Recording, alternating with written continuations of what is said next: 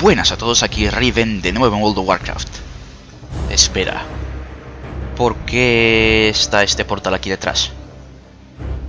Este no es el WoW. Aunque ahora que lo recuerdo, creo que hace muchos, muchos, muchos años esto sí que era el WoW. Y no había ningún otro WoW. Porque estamos, señores y señoras, en el WoW vainilla, en el WoW original. El WoW sabor vainilla. WoW 1.12.1. ¿Por qué estamos aquí? Pues básicamente porque quería recordar antiguos tiempos, quería hacer una serie en definitiva donde eh, contar mis experiencias en el juego original, ver los cambios que han habido desde la salida de Mist of Pandaria, desde Cataclysm, de todas las expansiones, porque han cambiado bastantes cosas. Así que me metí en un servidor privado de World of Warcraft donde aún están con la 1.12, eh, que es una de las versiones que yo he vivido en vivo. Yo empecé en la 1.11, si no me equivoco. Eh, y antes que nada quería comentar que para nada apoyo la piratería, a mí me parece muy malo esto de la piratería. Y yo aquí me meto con la conciencia limpia porque es una especie de experimento. Y además yo sé que yo estoy pagando el WoW oficial religiosamente, tengo mis 6 meses pagados por adelantado y voy a pagar muchos meses más. Y llevo pagando muchos meses, muchos años ya, así que creo que no estoy haciendo nada malo, pero si vosotros no pagáis el WoW no os metáis en servidores piratas, por favor, porque Blizzard se merece un poco de apoyo por vuestra parte. Y al fin y al cabo yo esto lo estoy haciendo por el bien de la ciencia, por así decirlo. Soy como GLaDOS. Vamos a meternos con mi cuenta, pues veis que se conecta bastante rápidamente. Comentar que el WoW está en inglés esta versión, así que lo siento si os molesta. Eh, este es un paladín nivel 7 que he creado solo para probar un poco eh, de nuevo cómo eran los paladines en aquella época, porque yo nunca jugué mucho con los paladines en la 1.12.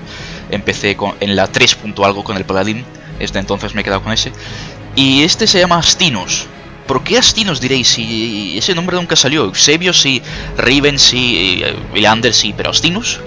Pues básicamente porque, si mal no recuerdo, este era mi primer personaje, idéntico a este, con el mismo pelo, la misma cara y un cazador.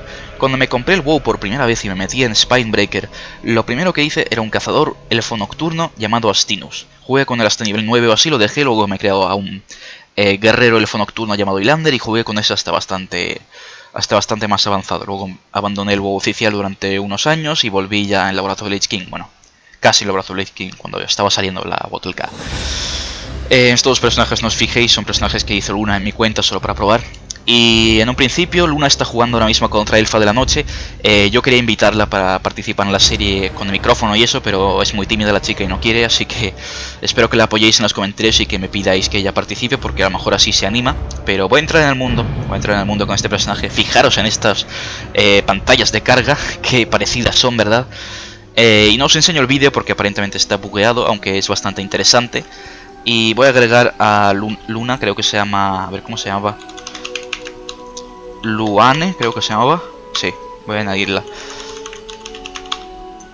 Eh, ahí está. De hecho, está corriendo por ahí. Voy a invitarla al grupo. Eh, ah, me lo, me lo he cancelado. no sabe que soy yo a lo mejor. Que soy yo.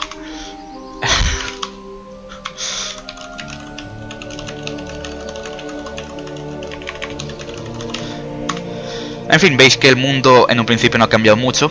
Eh, y esto es lo primero que vi yo al entrar en el WoW. Era flipante, era, estaba flipando en colores literalmente. Era un juego que yo esperaba muchísimo tiempo. Y... Oh, guay, dice Luna. Eh, yo era un gran fan de Warcraft desde Warcraft 2 desde un niño aún. Y estaba esperando muchísimo este juego. Cuando por fin me metí aquí en este mundo y vi el mundo de los elfos de la noche, me quedé realmente flipando. Era todo tan precioso y tan bonito que era para era como un sueño hecho realidad meterse en el mundo de WoW, eh, meterse en el mundo de Warcraft. Veis que los cazadores empiezan con una configuración un poco distinta a la que tenemos hoy en día. Tenemos eh, fusilándonos con las sombras aquí, si no me equivoco.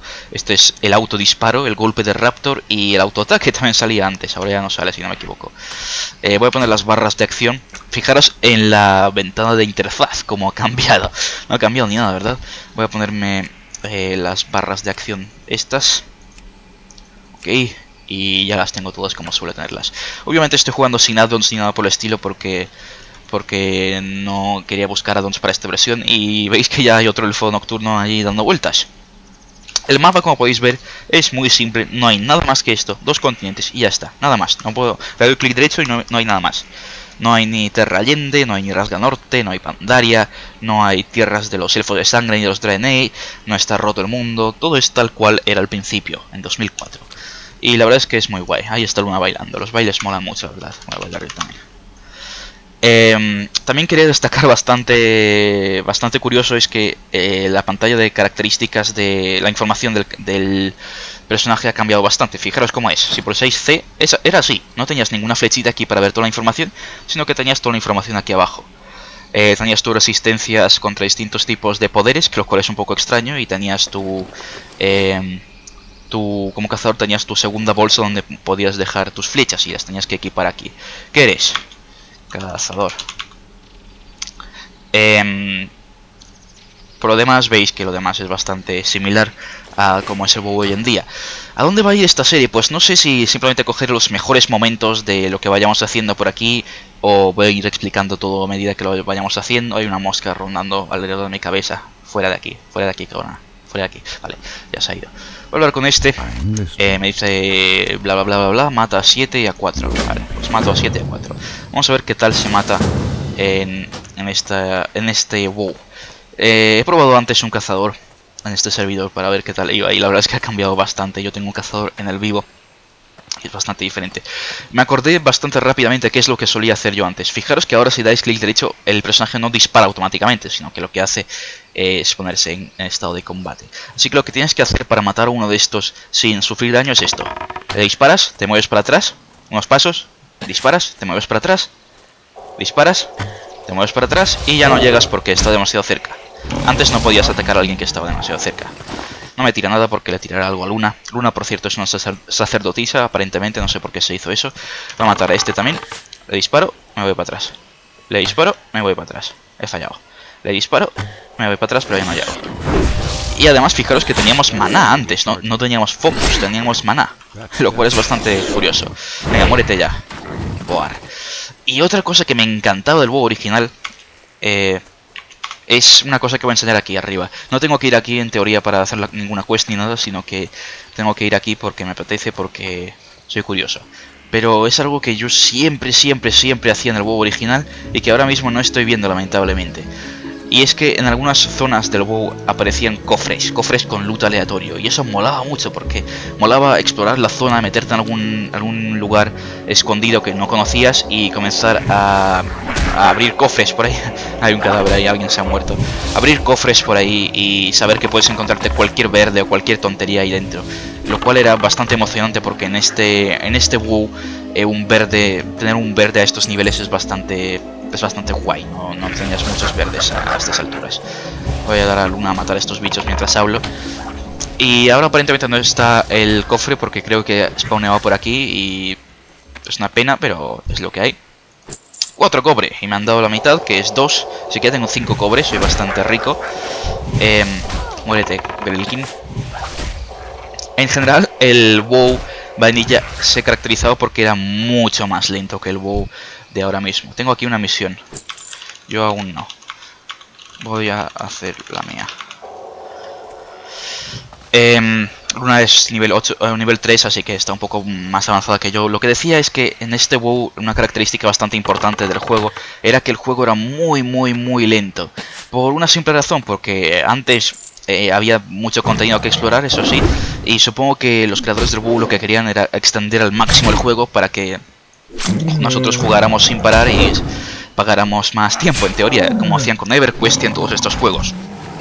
Pero bueno, luego vieron que a la gente le interesaba mucho subir rápidamente y todo eso, así que dejaron de, de hacer eh, todo tan lento y tan difícil y ahora todo es súper sencillo y súper rápido, lo cual no me mola mucho la verdad.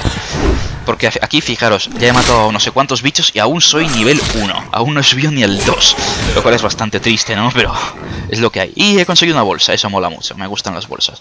Me sale un tutorial aquí explicando qué es lo que va pasando, los tutoriales eran automáticos, no se podían quitar, pero bueno.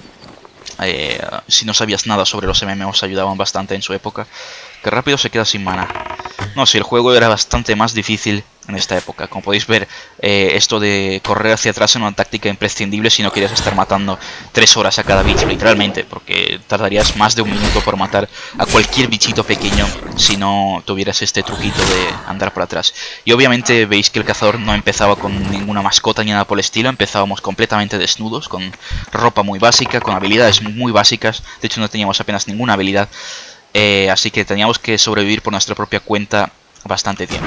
Creo que conseguimos nuestra primera mascota a nivel 10. Bueno, nuestra primera mascota no, nuestra habilidad para conseguir la primera mascota a nivel 10. Así que hasta entonces tendré que sobrevivir sin, sin ella. Y bueno, eh, creo que para este capítulo ya habéis tenido suficiente información sobre el WoW, sobre qué va a pasar con esta serie. Eh, ahora mismo creo que voy a seguir jugando con Luna. Si ocurre algo interesante, pues lo grabaré y ya lo meteré en el segundo capítulo. Pero creo que lo que voy a hacer es seguir ese ese modelo de capítulos. Eh, voy haciendo cosas y si veo que pasa algo interesante, pues lo grabo y lo meto, eh, meto los trozos interesantes en capítulos posteriores. No sé si esta serie va a convertirse en una serie habitual en mi canal o si solo serán un par de capítulos sueltos y ya lo dejaré. Pero si veo que a la gente le interesa lo suficiente, pues podría continuar con esto para, para mucho tiempo, para un tiempo indefinido. Porque a mí me hace mucha gracia volver a jugar a Vainilla, como ya dije en su época he jugado esto y lo he vivido todo en primera persona porque antes no había ningún otro WoW, antes solo estaba esto y nada más. O jugabas a este WoW o no jugabas a WoW. Y igual los picros aquí son más sencillos. No lo creo, Luna, no lo creo. Y la verdad es que era bastante era bastante guay el juego, era más complicado y por tanto más... Eh, era más un reto, más que ahora. Ahora es imposible morirte en los primeros niveles. Con mi pala estuve a punto de morir dos veces y solo me he curado porque soy bastante hábil en el juego y si no estaría muerto ya hace tiempo. Me acaba de llegar un Emilio. Así que nada, eh, lo dicho, si os ha gustado la serie y queréis ver más capítulos, otro Emilio, madre mía. Eh, si queréis más capítulos de esta serie, demostradme vuestro apoyo y dadme muchísimos likes y muchísimos comentarios, muchísimos favoritos, pasad esto a todos vuestros amigos, decidles, joder, mirad cómo era el WoW antes del antes de las expansiones, mirad qué raro era todo, madre mía, qué retro y así si veo que hay mucha respuesta positiva de esta serie, pues empezaré a grabar más capítulos y hacer más cosas. Y obviamente siempre podéis pedirme, soy nivel 2, toma ya GZ a mí mismo. Obviamente siempre podéis pedirme material que queréis ver del juego, porque hay muchas cosas que enseñar, la verdad. Y nada, lo dicho, si os ha gustado, dadle like, favorito y suscribiros a mi canal, o como os plazca. Hasta la próxima.